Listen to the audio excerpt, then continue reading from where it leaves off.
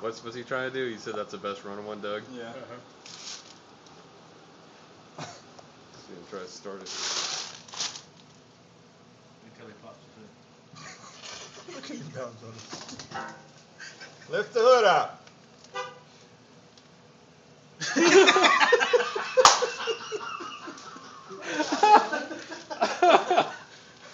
Runs good, Steve. Tweedledee and Tweedledum out there.